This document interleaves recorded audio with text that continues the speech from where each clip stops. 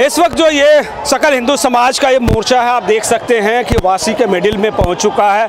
हज़ारों लोग, तकरीबन तीन हज़ार से ज़्यादा लोग इस मोर्चे में शामिल हो रहे हैं। एक ही मांग है, जिहाद के खिलाफ कानून बनाया जाए, लैंड जिहाद को रोका जाए, धर्मांतरण के खिलाफ कोई ठोस कदम उठाया जाए। और इन तमाम मांगों को लेकर सड़क पर हज़ारों लोग इस वक्त चल रहे हैं। ये सकल हिंदू समाज का मोर्चा है जो विभिन्न मांगों को लेकर आज सड़क पर उतरा हुआ है। और इस वक्त आप देख सकते हैं कि हमारे साथ बीजेपी के विधायक जो है, बेलापुर के मंदाताई मात्रे भी इस पूरे भव्य रैली को समर्थन दे रही हैं। ताई, क्या कहना चाहेंगी? आज सकल हिंदू समाज सड़क पर उतरा हुआ है। तमाम मांगे हैं। उन मांगों को किस तरह से आप समर्थन कर रहे हैं? ये मोर्चा पहले ही निकलना चाहिए था।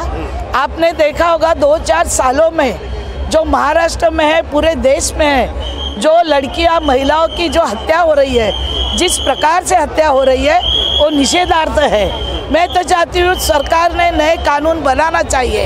ये कानून बनाना के लिए हम लोग सब हिंदू संगठना एक साथ आज आ गई है। और आज ये संगठना एक साथ आकर इस संगठन के माध्यम से सरकार ने सोचना चाहिए कि का, बनना चाहिए।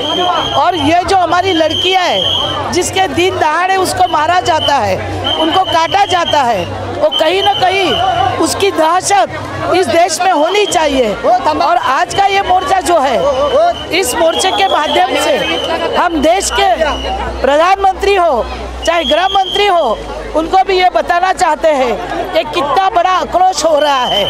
और समाज कोई भी हो, हम समाज के खिलाफ नहीं है। हम समाज के खिलाफ नहीं है।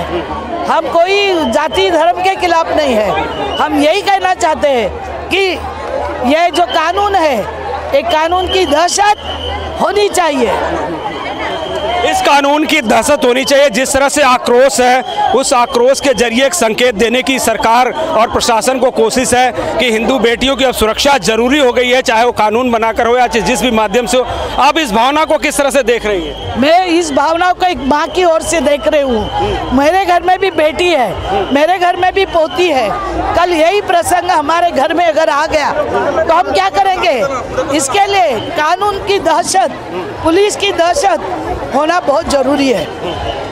पुलिस और प्रशासन की दहशत होना ज़रूरी है और इसलिए ये कानून बनना ज़रूरी है क्योंकि जब तक कानून नहीं बनेगा तब तक सही तरीके से बेटियों की सुरक्षा जो है मुकम्मल तरीके से नहीं हो सकेगी। लेटेस्ट अपडेट्स और ताज़ा तरीन खबरों के लिए टीवी वन इंडिया लाइव को सब्सक्राइब कीजिए और नोटिफिकेशन पाने के लिए बेल आइकॉन को दबाना मत भूलिए।